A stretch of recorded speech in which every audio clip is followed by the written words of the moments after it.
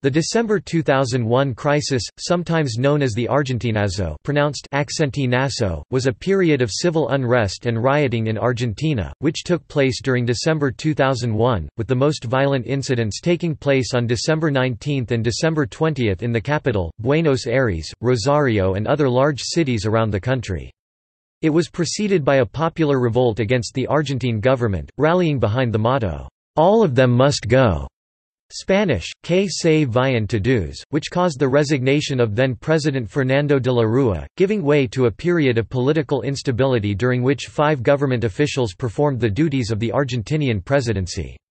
This period of instability occurred during the larger period of crisis known as the Argentine Great Depression, an economic, political, and social crisis that lasted from 1998 until 2002.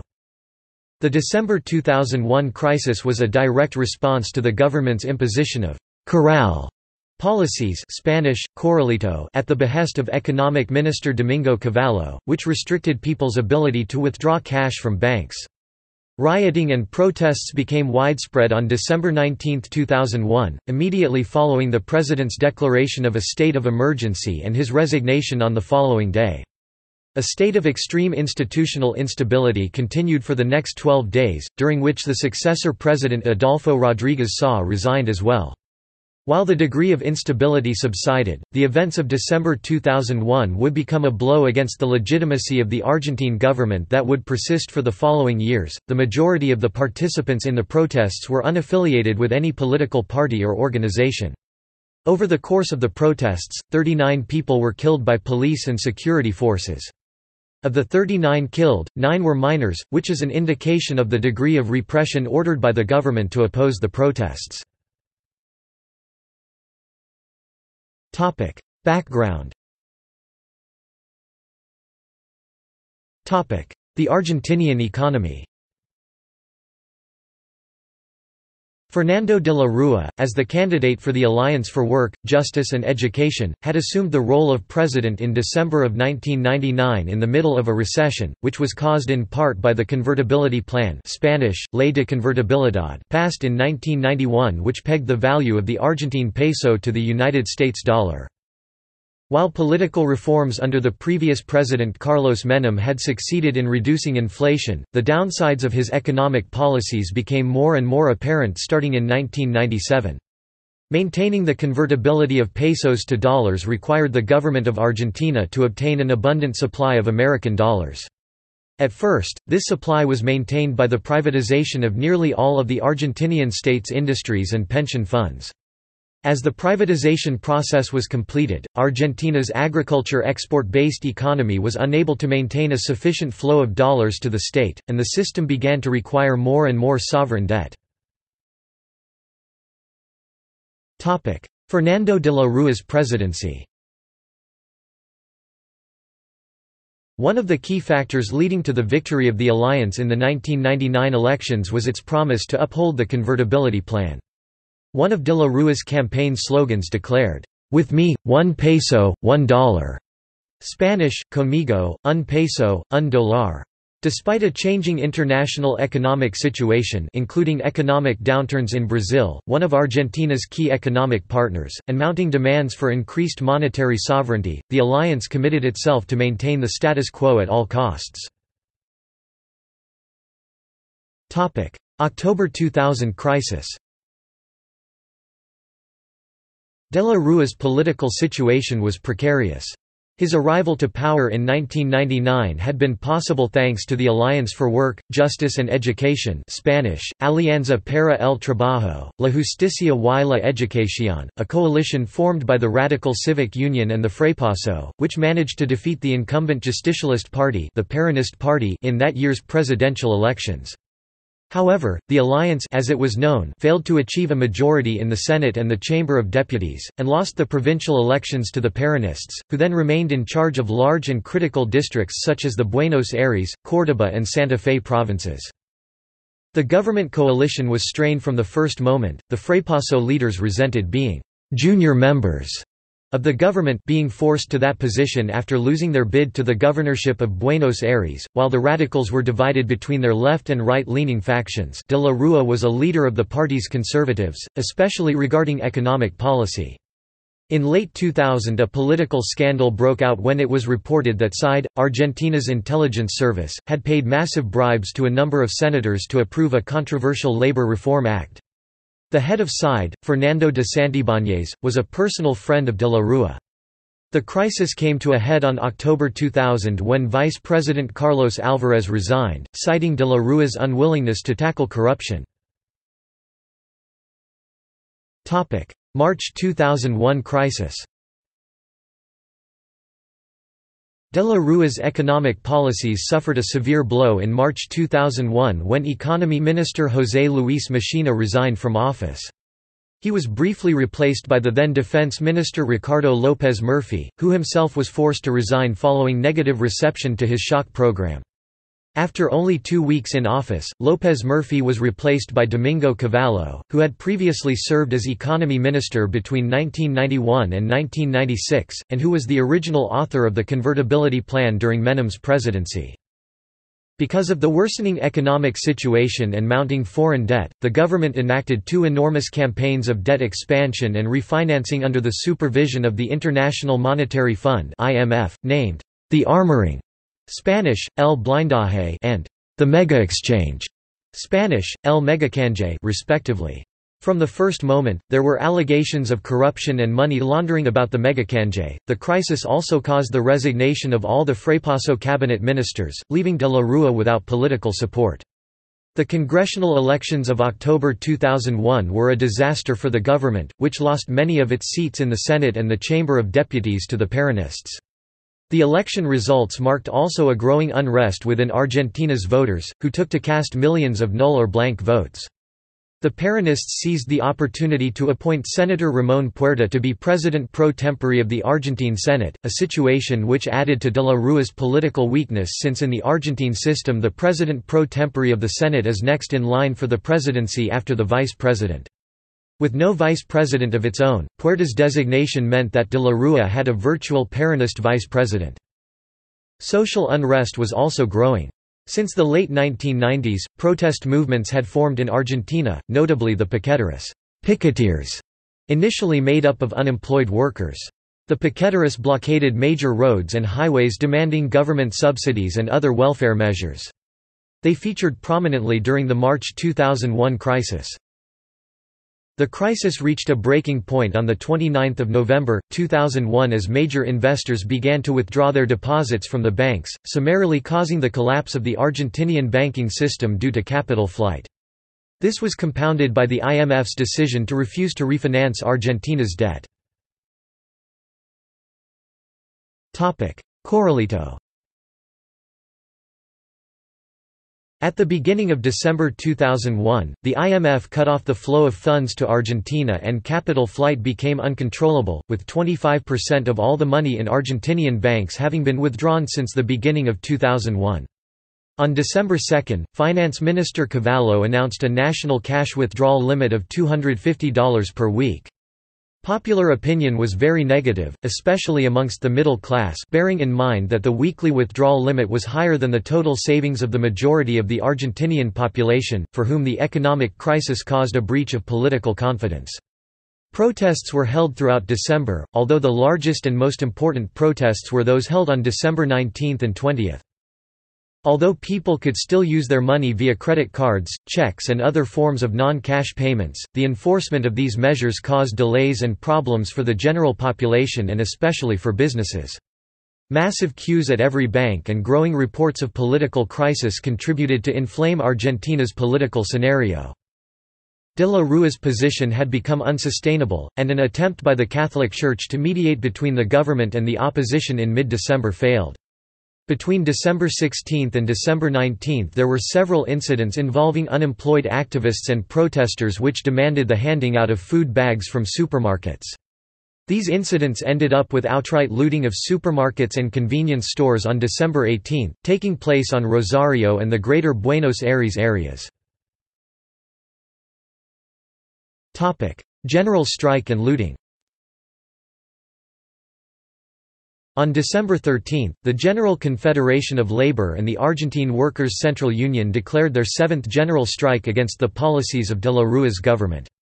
The strike had a high participation rate, including strikes in sectors that rarely participated in general strikes, such as the financial sector and ununionized workplaces. During the time of the strike, there were riots in the working-class neighborhoods of some cities, largely instigated by the striking piqueteros. Looting occurred in various commercial districts in the country's interior and in Buenos Aires.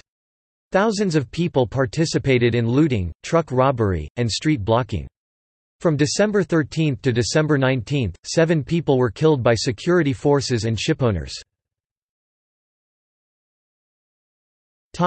December 19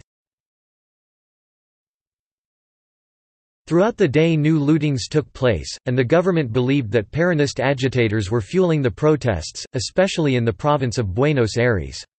This came after noting that the lootings often took place in Peronist-governed towns, and that the Buenos Aires Provincial Police which ultimately answered to Buenos Aires Governor Carlos Ruckauf, a top Peronist was strangely mild in restoring order. With violence mounting across Argentina's major cities, President de la Rua began to consider alternative measures to restore order. The first option considered was to deploy the military to contain the violence.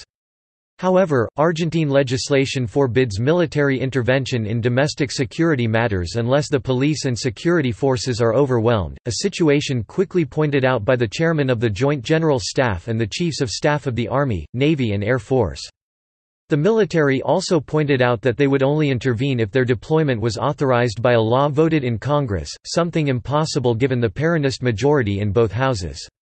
The Argentine military was unwilling to take the blame if violence grew worse, learning from what had previously happened when President Isabel Perón issued an executive order commanding them to fight the subversive guerrilla movements of the 1970s see Dirty War. With military intervention no longer an option, de la Rua resorted to declare a state of siege essentially a state of emergency throughout the country, deploying the federal police, the National Gendarmerie border guard and the Naval Prefecture Coast Guard to contain the growing violence. Later that night, de la Rua addressed the nation to announce the state of siege and to call the Peronists to negotiate a «government of national unity». Following the broadcast, spontaneous cacerolazos pot banging took place throughout Buenos Aires and other major cities, signaling the middle-class own unrest. December 19 concluded with the resignation of Domingo Cavallo, who had lost whatever support he had within the government. Groups of protesters mobilized throughout Buenos Aires, some of them arriving to Plaza de Mayo, where there were incidents with the federal police forces. December 20 What had begun as rioting by unemployed and leftist-leaning groups had turned into a middle-class protest with the cacerolazos, and the resignation of Cavallo did nothing to calm down the situation. The de la Rua administration had agreed with the military to participate in an emergency handing out of food, however, the plan failed due to lack of cooperation from the Ministry of Social Development. Throughout the morning, groups of protesters converged on Plaza de Mayo despite the state of siege. The federal police, acting under orders from the government, proceeded to try to control the protests. An attempt by a federal judge to halt police operations was disregarded, and the situation worsened with the arrival of new groups of protesters. As violence expanded, President de la Rua tried to impose censorship on all news outlets from Buenos Aires. The idea was to use the state of siege to force the television networks to stop transmitting current events and broadcast emergency programming. This plan also failed because de la Rua's own media secretary refused to carry out his instructions. The state's repression was thus broadcast both within Argentina and abroad, causing further mobilizations toward the plaza. Violent incidents between the police and protesters spread throughout the country. The most notorious ones took place at the Plaza de Mayo, where five people were killed. Some claim that the deaths were provoked by covert elements of the Buenos Aires Provincial Police in an attempt to further destabilize de la Rua. With his options steadily being reduced, de la Rua went onto national television at 4 p.m. to offer the Peronists to join the government and try to bring some peace to the country. At that time, a caucus of Peronist governors was taking place at a country villa in the province of San Luis. Three hours later, Humberto Roggero, head of the Peronist bloc of the House of Deputies, announced that the Peronist party would not be a part of a «government of national unity». When he heard the Peronists' response, de la Rua decided to resign from office. The situation on Plaza de Mayo right in front of the Casa Rosada, the presidential palace was still too violent for de la Rua to leave by car to his official residence at Olivos. Thus, the president's security detail decided to take him out of the Casa Rosada on board an Air Force helicopter. The images of de la Rua's escape by helicopter were broadcast throughout the country. The violence slowly abated. By the end of the day, 26 people had died, five of them in Buenos Aires. With Alvarez having resigned a year earlier, the president pro tempore of the Senate, Ramon Puerta, took over as interim president until Congress could appoint a successor to de la Rua.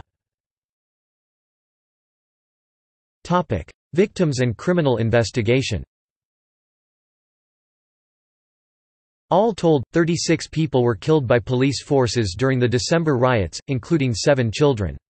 The largest incidence of violence was in the Plaza de Mayo of Buenos Aires, in what would become known in Argentina as the Plaza de Mayo massacre.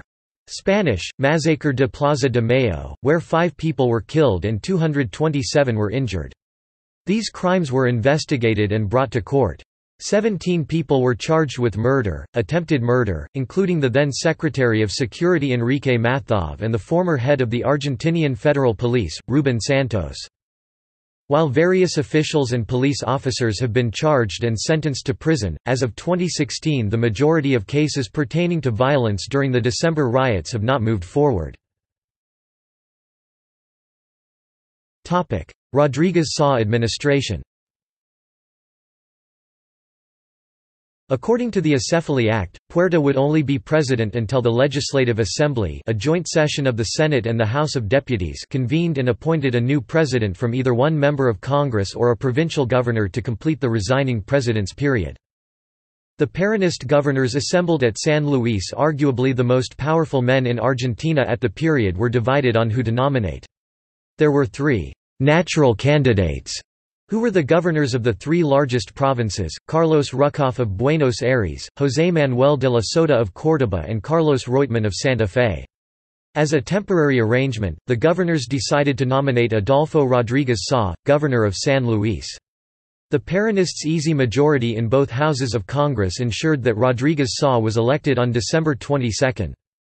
While de la Rua's term expired in 2003, some argued that only a president legitimated by popular vote would be able to bring Argentina out of the crisis. To that end, Rodríguez Saa was designated as interim president for only three months, until presidential elections were held on March 3. If needed, a ballotage would be held on March 17. The winner would take office on April 5 for the balance of de la Rua's term.